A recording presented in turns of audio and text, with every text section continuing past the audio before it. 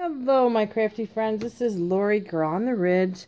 I finally finished a um, another envelope journal. There's no way this one's going to fit in the envelope. So this is um, a bigger set. What I have here is this is the envelope that um, it was made from an old curtain of my daughter-in-law's. And I made an envelope out of it. That's um, Artie Mays and this set I use a lot of my um, crystals and um, uh, boho I guess sorry outfits from um, Sheila. I've been hoarding them and this book is pretty much I put a lot of them in here. The envelope is eight and a half by six and a quarter. And she's really really pretty oops, with the little danglies. And in here I have oh, a seed packet that's been Mod Podged. I have an envelope that I made with um, parchment paper, and I'll put something in there. Doily. Just a just a pretty little envelope. And then here is just just a very simple little notebook.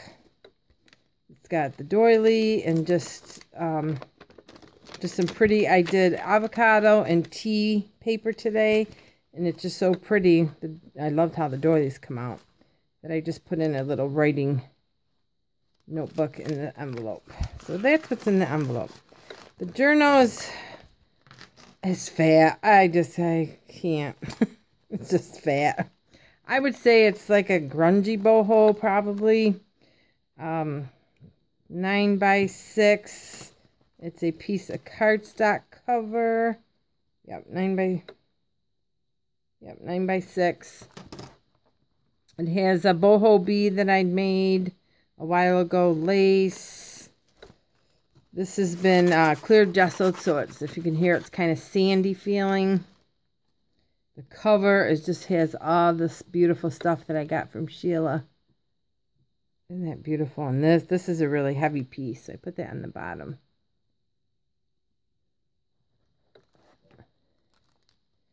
And inside, we just have lots of stuff. This is um, a set of envelopes with some just cardstock tag and a glassine card. So that's just in the envelope.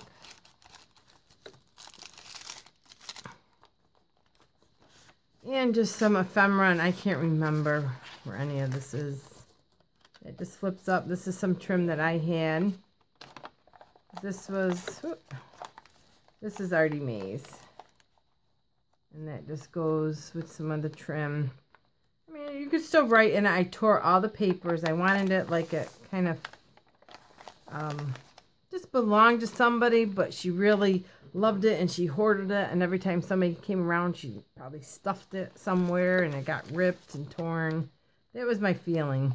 This was a piece of tapestry i had a little booklet some receipts and then another glassine bag or glassine envelope that i made. Just a little one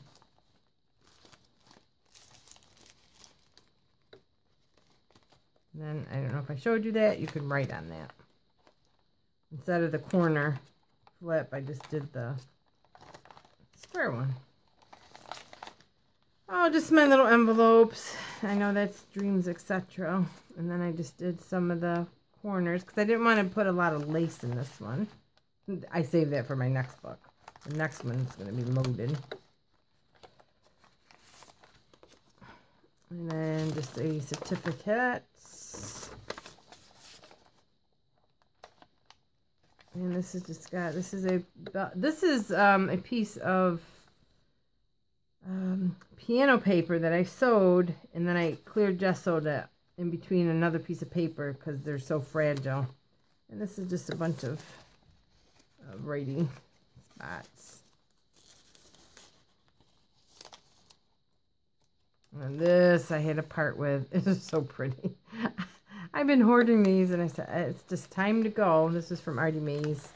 But they're just, you could write under it. They're just so pretty. And this, oh, everybody's got to have a pair of shoes. It's just a piece of ephemera a, just, again, this is um, sanded. I love that feeling.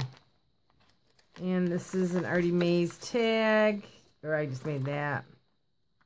And then another little card. That just goes up there.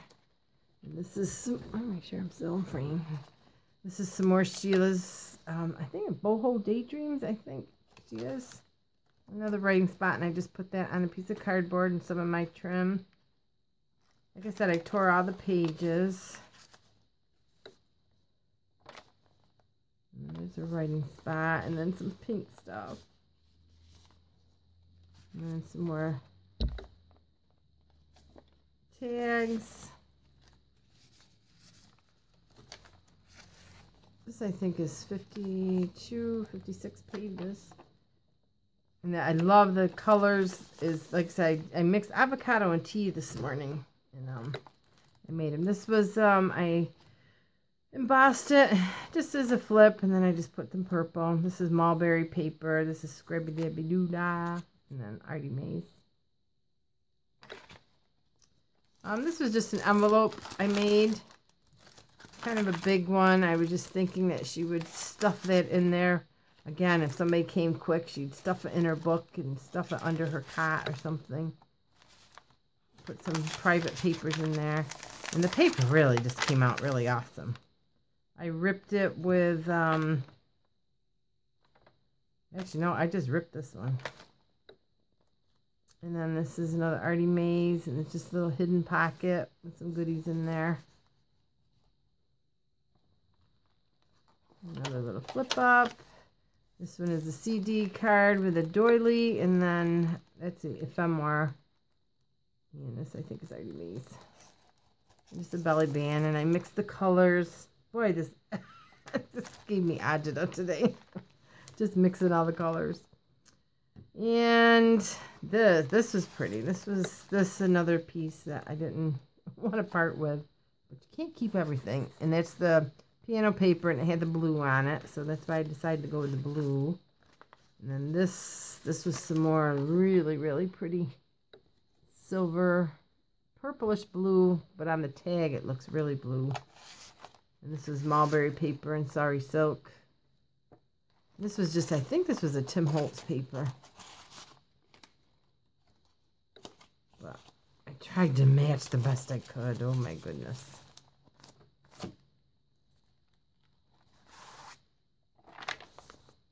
And then just a corner pocket with some material in the music paper.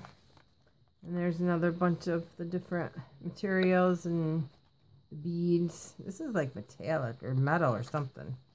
It's pretty cool.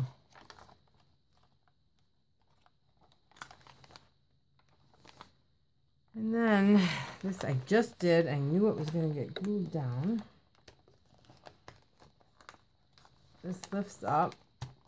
There she goes.